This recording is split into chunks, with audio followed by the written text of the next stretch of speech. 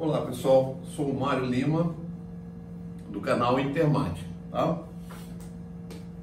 É, eu trago para vocês aqui uma, um problema que eu já gravei um vídeo, tá? E agora eu vou refazer o problema. Mas antes, né, eu gostaria de comentar duas coisas. A primeira é o seguinte, é, a gente recebe, né, comunicação de vários no privado, de várias pessoas, de vários lugares, para tirar, tirar dúvidas, para resolver exercícios, para. Enfim, a gente é solicitado muito, muito solicitado. Eu acho que todo mundo que, que, que tem canal acontece isso, né? Isso não é uma exclusividade minha. Tá? E nem sempre a gente consegue, é, primeiro, resolver tudo, né? A gente não consegue. E segundo, é, é normal que a gente esqueça de responder a um, a outro, consiga atender a uma e não atender a outra e tal. Então, é, eu gostaria de pedir desculpa e que as pessoas compreendessem isso. E às vezes o cara fica chateado, fala, não, eu vou sair do canal, ah, eu vou sair porque ah, aquele, eu mandei uma mensagem pro cara, o cara não me respondeu e tal. Mas às vezes, gente, é, é, é a questão. A gente não pode dedicar 24 horas da vida a fazer isso, né? Nem que ficasse as 24 horas da vida daria para atender a todos, tá? É, e a outra, eu quero reforçar com vocês é o caráter que eu sempre dei a esse canal. Eu sempre dei a esse canal um caráter, primeiro, é não econômico, segundo, é não competitivo, e terceiro, que não é uma coisa que me pertença. Tá? Eu estou representando o canal, mas a finalidade do canal são vocês. Tá? E por que, que eu estou falando isso? Estou né? falando isso porque é, eu fiz esse problema, tá?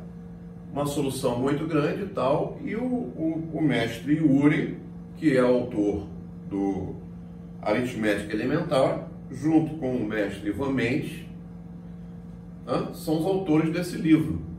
O Ivan, eu tenho o privilégio de, de ter acesso a ele a qualquer momento. Pessoa que eu já considero no meu ciclo de amizade. Tá? O Yuri, é, eu não tenho esse acesso, eu conheço o Yuri de vista e tal, mas sei é, da sua competência né? e do seu valor. E o Yuri, é, ele me deu uma incumbência, né? me mandou uma solução dele, a solução é dele, é do Yuri. Yuri, se eu errar, desculpe, né? Kermanovisky, eu acho que é isso, né?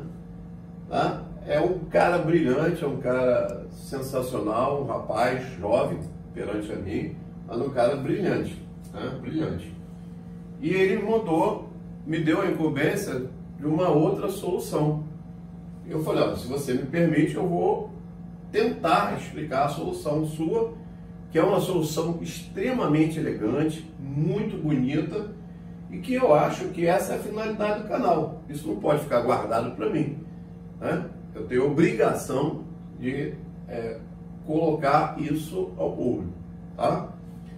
Então, é, vamos recordar o problema e depois eu vou passar, tentar né, explicar da melhor maneira possível é, a solução do, do mestre Yuri. Tá? O problema era o seguinte, é, ele dava um, você pegava um ponto P no interior do, de um triângulo e traçava três perpendiculares ao lado, aos lados.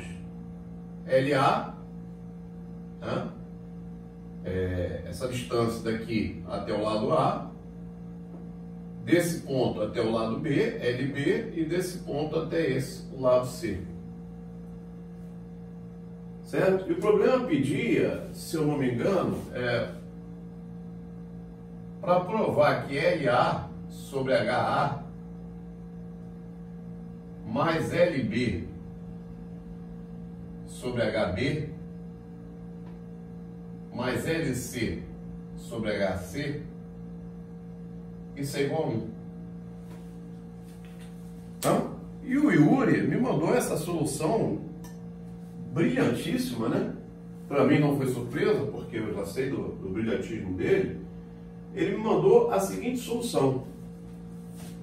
Esse triângulo aqui, ó, B, PB, vamos representar assim, ó, B, PB. Dizer que isso aqui seja a área, tá? A área eu vou escrever assim, B, PC, né? Essa é a área desse triângulo. Ele chamou de S1.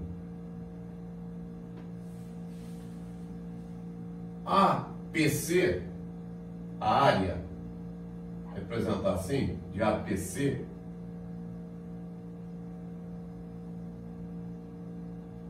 ele chamou de S2. E a área de APB,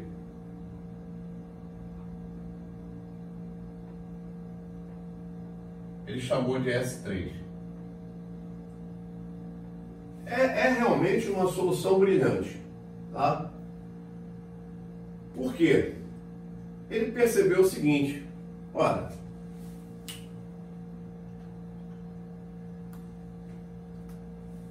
S1 S1 mais S2 mais S3 isso é igual a 1 oh, perdão, é igual a S ah, claro, né? Essa área mais essa área mais essa área da área do triângulo total área do triângulo ABC tá? S. Se eu dividir isso aqui tudo por S, eu vou ter S1 sobre S mais S2 sobre S mais S3 sobre S. E S sobre S vai dar 1. Tá? E aí, ele lançou mão do seguinte é, uma propriedade conhecida, mas que não é fácil né, visualizar. Aqui está o HA. Qual é a área desse triângulo BPC? É A, A vezes LA sobre 2. Qual é a área do triângulo ABC? É o mesmo A, que a base é a mesma, vezes HA sobre 2. Se você simplificar o A sobre 2 com A sobre 2, a razão entre essas áreas, S1 para S é a mesma razão de LA para HA. Brilhante a solução dele, né? Brilhante. E com isso o problema morre, né? Porque se S1 sobre S é LA sobre HA, vou substituir aqui, ó. LA sobre HA. Mais se você fizer a mesma coisa para S2 sobre S, você vai ter o quê? LB, o mesmo raciocínio, para HB. Hã? Só que para o outro triângulo, né? E S3 sobre S vai ser o LC sobre HC. Igual a 1. Então tá aí, gente, né? a solução espetacular, sensacional, brilhante. Para mim não é novidade, porque eu sabia que o, o mestre Ori é uma pessoa brilhante, né? um grande professor uma mente privilegiada. Eu fiz o problema, o problema né? enorme, fiz muito cálculo, ficou difícil até de explicar e ele me apresenta uma solução elegantérrima. Tá? Lógico que isso não pode ficar guardado para mim, né, gente? Tá? Então, Yuri, meus parabéns. Tá? Ah, e vai o um recado aí para os demais colegas. Gente, o canal não me pertence, tá? O canal é dos nossos assinantes, as pessoas que nos assistam.